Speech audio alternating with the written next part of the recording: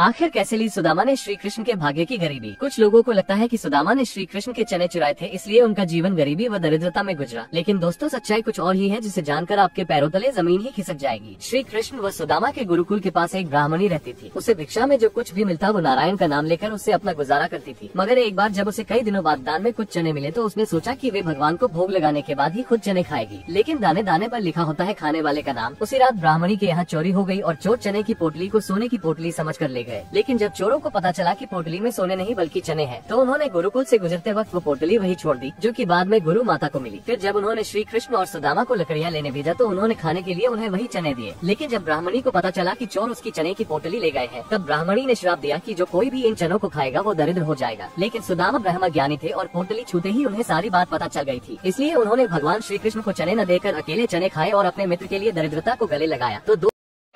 Radhe, Radhe, Radhe, Radhe.